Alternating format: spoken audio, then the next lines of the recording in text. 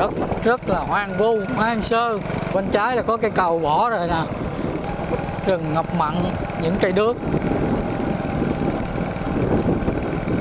Đường đi uốn lượn quanh co rất là hấp dẫn các bạn. Vào sát khu uh, bên trong này là người dân uh, họ là làm muối nha các bạn. Đây nhà nhà này đúng là nhà của người dân này. nè rồi bức hình nộm không các bạn? Đây nè bức hình nộm nè. Đó. Đây căn nhà. Biệt thự. Còn bay thẳng cánh là đây. Đây. Nhà người dân ngồi nhậu. Nhà của người dân. Trời ơi, căn nhà nhìn cũng ra căn nhà luôn. Chúng ta ra đến ngã ba Ra đến cửa biển Đông rồi. Trước mặt chúng ta đây là biển các bạn, biển Đông đó. Rồi, chào tất cả các bạn ha. Thì uh, video trước thì mình uh, đi uh, khám phá cái uh, con đường Lý Nhân. Chạy con đường này về đến ngay chỗ uh, cây cầu Vàm Sát ha các bạn. Ra ngay con đường Vàm Sát ngay ngã ba. Rồi chúng ta sẽ đi lại ngược lại cái con đường này. Hướng quẹo trái phải là trung tâm y tế xã Lý Nhân ha các bạn, đường à, Dương Văn Hạnh, tổ 13 ấp Lý Thái Biểu. Để chúng ta sẽ đi về cái gọi là cửa cửa biển ha các bạn, đi về cửa biển. Rồi, ok, dính nhạc bản quyền không biết nữa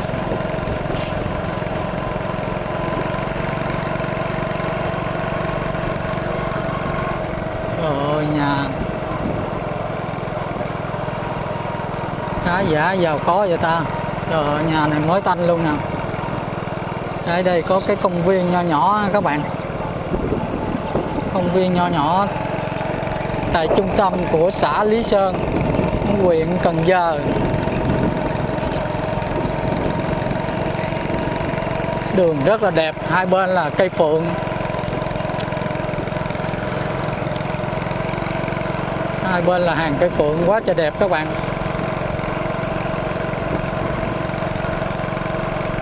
Bất động sản, mua bán bất động sản giàu lên. Nhờ bất động sản. Bất động sản miệt vườn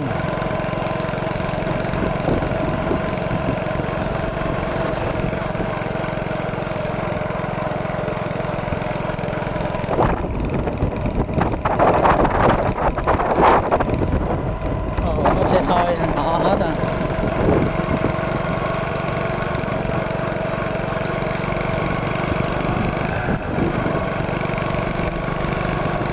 chúng ta sẽ đi về điểm xa nhất của à, huyện Cần Giờ. Cái à, xã à, Lý Nhơn.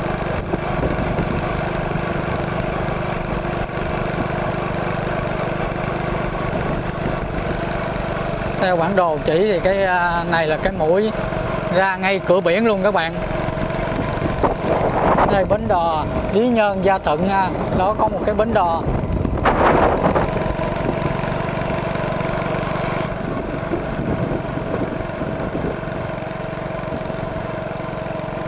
Đường rất là mới và đẹp.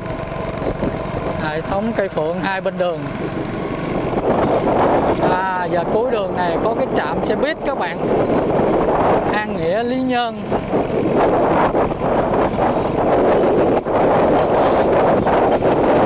Số 188 hay 128 gì đó. Chúng ta có thể đi từ ngay chỗ uh, phà Bình Khánh về đến uh, cuối điểm Lý Nhân này luôn ha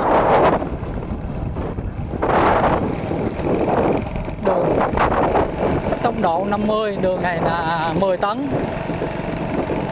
Đây các bạn, chúng ta đi vào con đường, dẫn chúng ta đi về đến à, địa cuối của xã Lý Nhơn. Khung cảnh hai bên đường, người dân nuôi trồng tôm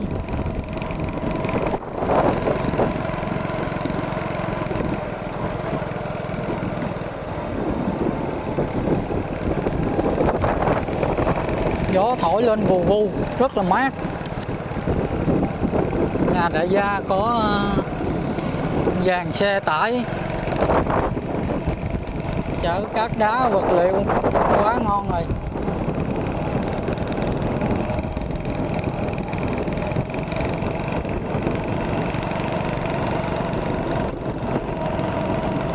Bị ngược sáng ờ, các bạn thông cảm. Sẽ quay né với ánh nắng mặt trời xíu. À, chúng ta sẽ đi qua cái cầu. Đây có cái cầu gọi là cái cầu bà năm. Vùng đất rất là hoang vu hoang sơ. Nơi được xem là hẻo lánh xa xôi. Của xã Lý Nhơn huyện Cần Giờ. Trực thuộc thành phố Hồ Chí Minh đây. Trời ơi, nhà đại gia mua bán vật liệu xây dựng à, có xe hơi luôn là phải rồi.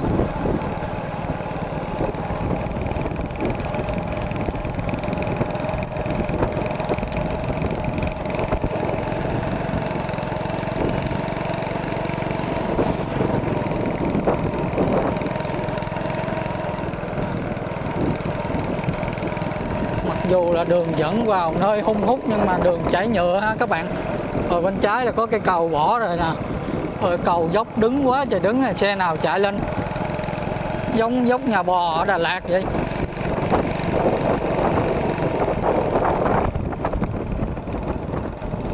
Cái láng những cái căn nhà của người dân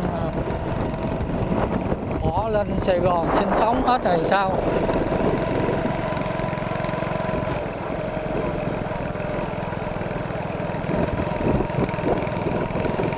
Đường nhựa luôn mới ghê chứ, trong này đường nhựa luôn các bạn. Đường không có à, thấy cảnh cát đá rơi rớt. Này mưa nó trôi xuống hết.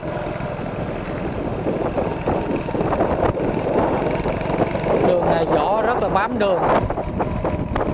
Trời ơi, khung cảnh hai bên đường.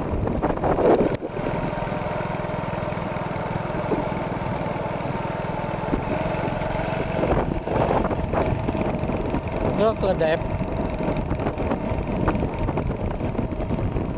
Này, biết vậy đi quay buổi chiều ha.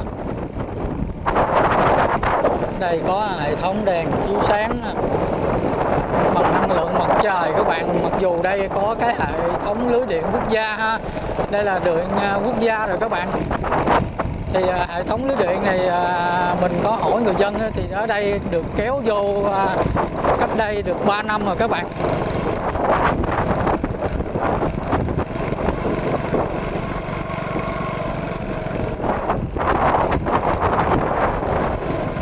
Ngày xưa vùng sâu, vùng xa này. Nước uống.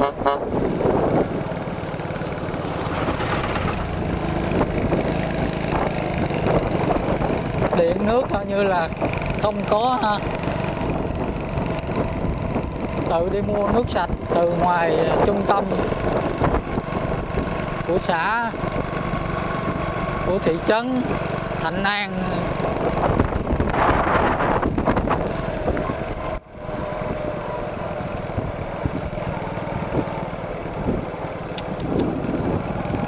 Cánh đầm, nuôi tôm quá, trời là rộng lớn luôn.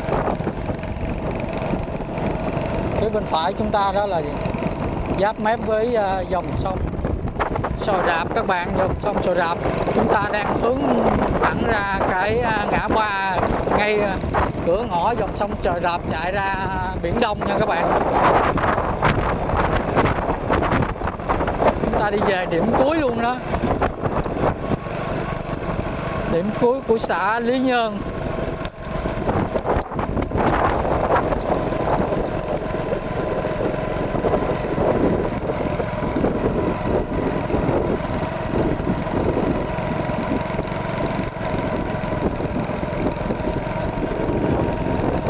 Ờ, đi tung tăng tung tăng một mình. Khám phá vùng đất mới. Đây một cái chòi lá của người dân có bình trà luôn nè. Người dân đang đi à, vào bên trong. Làm những cái à, cửa đồng tôm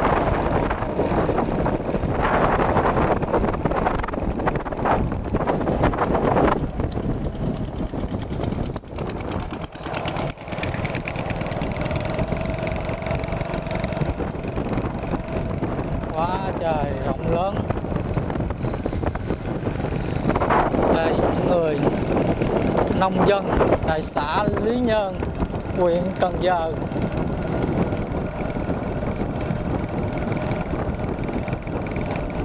Anh ta đang à, thả bột thức ăn cho tôm ha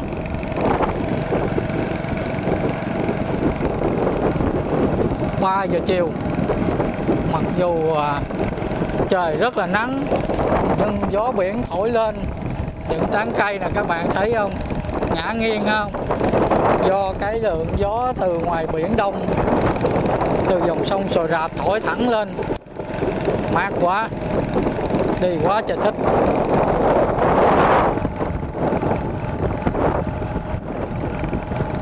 Xe dục ở đây luôn. Biển số Z ha. Khi xưa biển số Z là biển số của quận tư các bạn.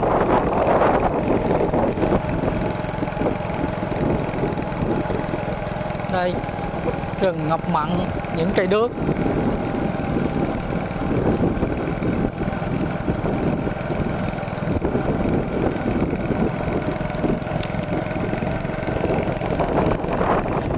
ôi ôi khung cảnh mênh long bao la bát ngát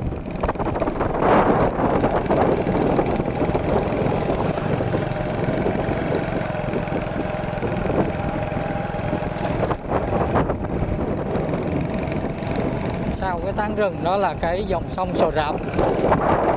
Hướng chúng ta cứ đi thẳng, là chúng ta sẽ về đến ngay cửa miệng luôn. Cửa miệng sông đổ ra biển Đông.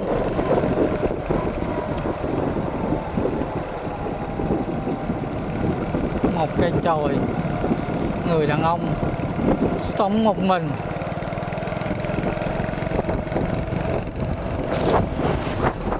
Đường đi uốn lượn quanh co.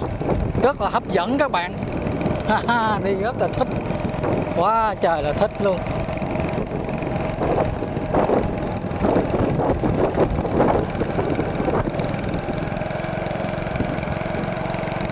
Chiều giờ này khoảng à, 5 6 giờ chiều ha. Khi hoàng hôn buông xuống. Trời ơi, cảnh vật lên đây.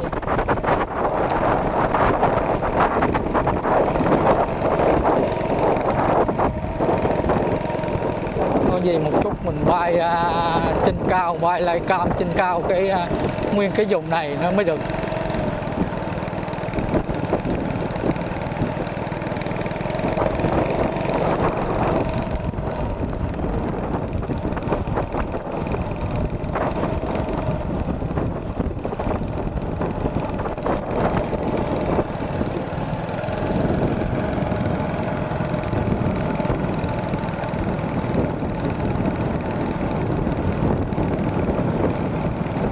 sát khu à, bên trong này là người dân à, họ làm muối nha các bạn. Khu vực này là bắt đầu làm muối rồi. Bắt đầu sát với mép cửa biển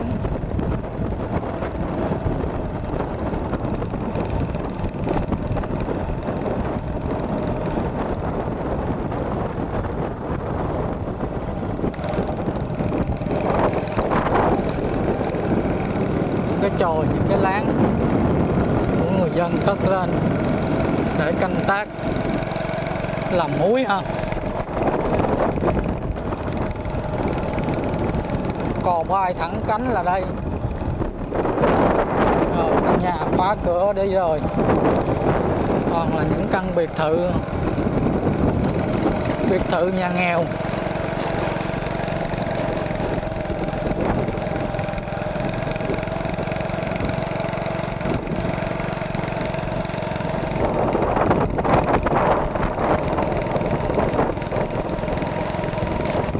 đây người dân hay là những người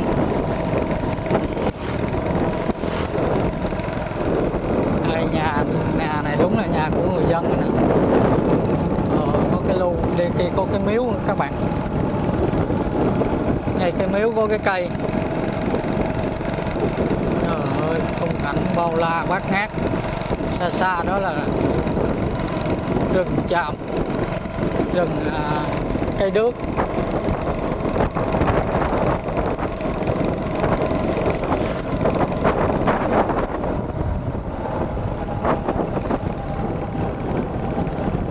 rồi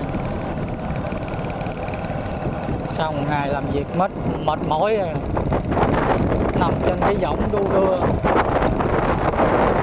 Ở phía xa xa chúng ta thấy có cái ờ,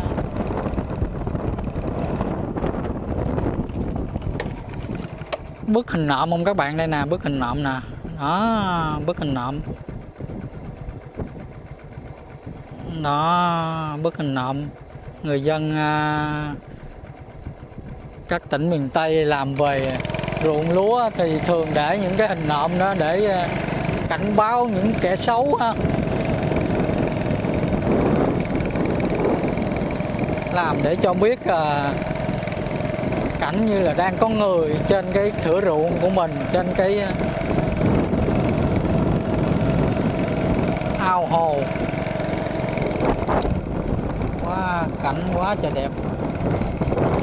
Đó hù dọ những người à, mình như các bạn thôi, chứ còn dân địa phương thì họ quá rành ha các bạn? Như mình cũng rành rồi.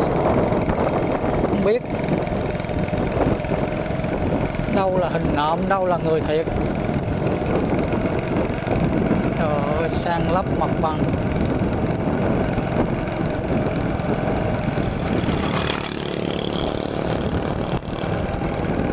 Nhà đại gia đại gia miệt vườn đây có xe tải.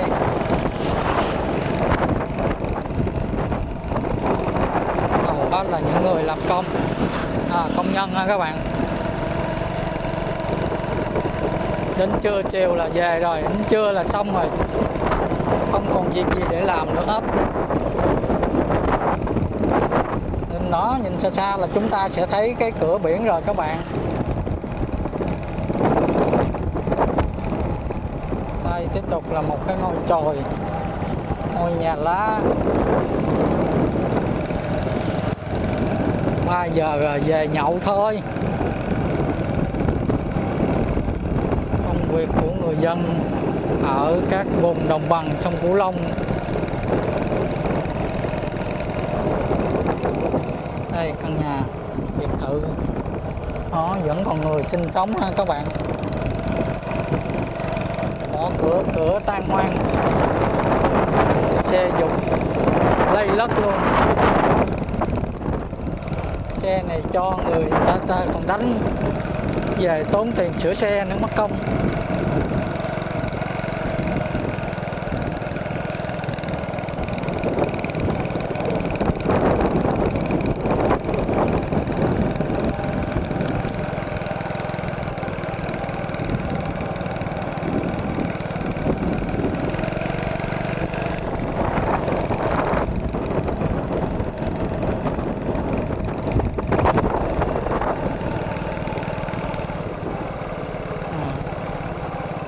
một ông anh rất là lực lượng đang chuẩn bị dọn lại cái chòi của mình.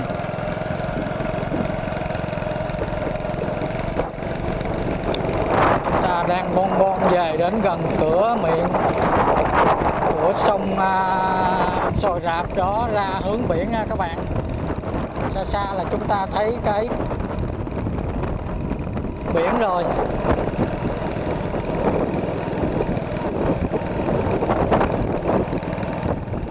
Biển hướng Cần Giờ nhìn thẳng qua bên Vũng Tàu.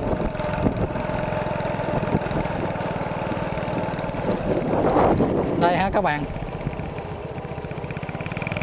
Xa xa là chúng ta ra đến ngay ngã ba, ngay cửa cửa biển rồi. Dòng sông sồi rạp chảy ra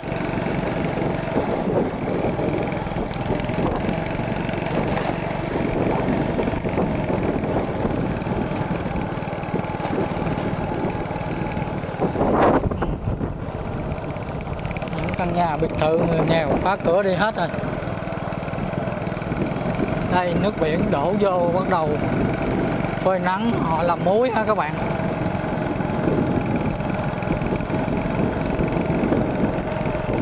Nói về à, ngành muối thì ở à, Ninh Thuận. Sau này mình sẽ đi cái à, cái tour duyên hải năm Trung Bạo mình quay các cái con đường ven với lại bờ biển.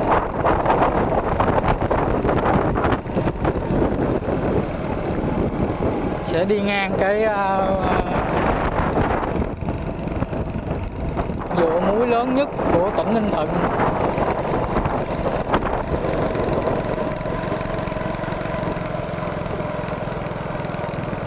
Một khung cảnh rất là khô cằn ha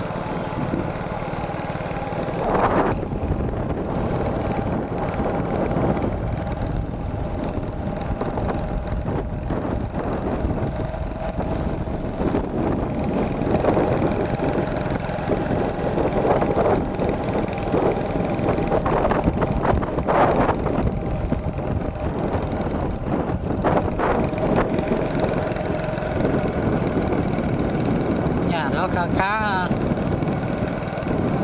dựng cái à, tôn lên. Phía sau lại tiếp tục lại có một cái à, cái đền thờ cái miếu một cái miếu.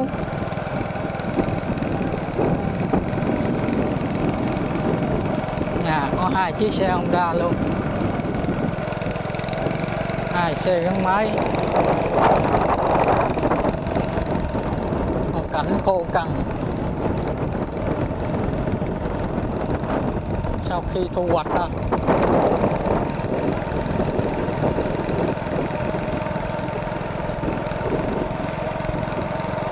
Ồ, bay thẳng cánh là đây.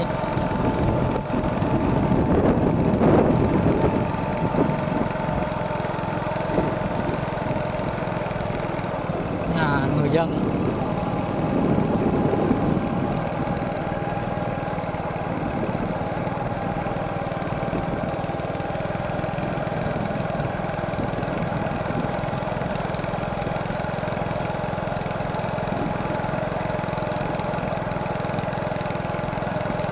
Vô sâu dưới người ta.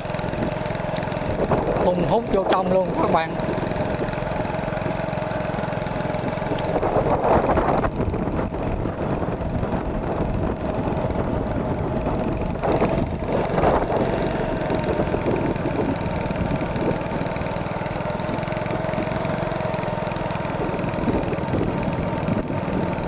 Trời ơi, khung cảnh nguyên một cái à,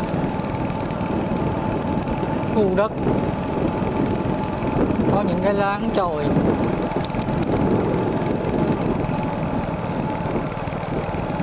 Quá trời là rộng lớn.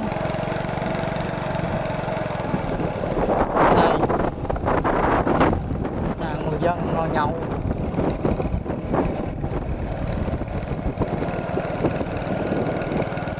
Chiều hai ba giờ là hết việc làm rồi các bạn. Làm tập trung chủ yếu vào buổi sáng ha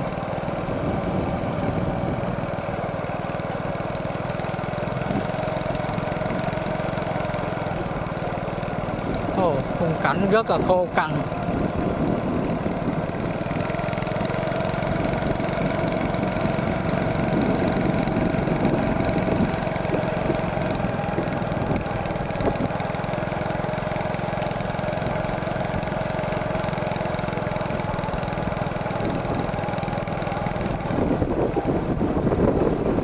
Nhà người dân.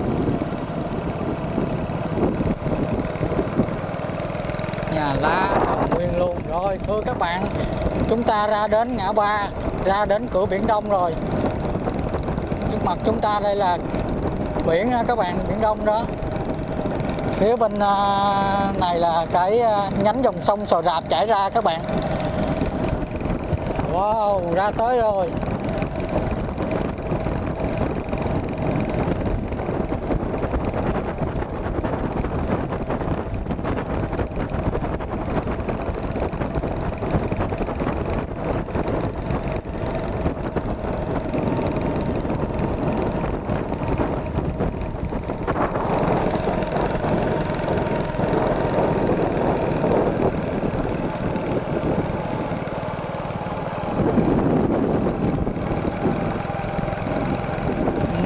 Dân, lao động, cực khổ.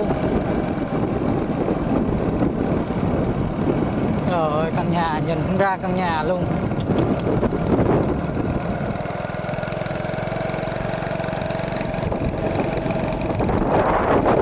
Trời, còn nữa hả? Thử thách dữ vậy ta. Thử thách thì đi đi luôn. Ta đến điểm cuối rồi đó các bạn điểm cuối của xã Lý Nhơn đó. Phía bên đó là à, sông à, là biển rồi biển đông đó các bạn. À rồi hết rồi các bạn. Đây ha. Hết đường rồi. Ồ đây còn còn người dân vẫn còn đi là đường vào khu à, sản xuất núi các bạn. À, khu sản xuất núi trong này ha đây là cuối đường. Nó nhánh bên đó là đi à, thấy à, biển à, biển đông ha các bạn. Rồi có gì mình bay like cam cái à, khúc ở trên này cho các bạn xem chứ gần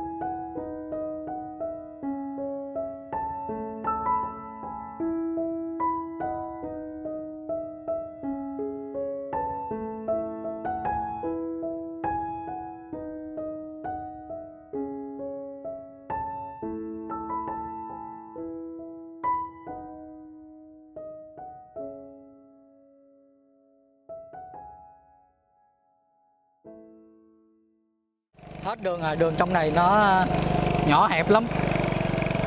Đường chỗ này rất là đẹp ha. Rồi, chúng ta đã đi khám phá cái điểm cuối của cái xã Lý Nhơn. Các bạn nhớ bấm like và chia sẻ video giùm mình. Cảm ơn các bạn rất là nhiều. Chào và hẹn gặp lại các bạn ở cái xã tiếp theo, đó là xã Tam Thôn Hiệp ha các bạn, và cái xã Bình Khánh cuối cùng trên cái à, bán đảo huyện Cần Giờ này.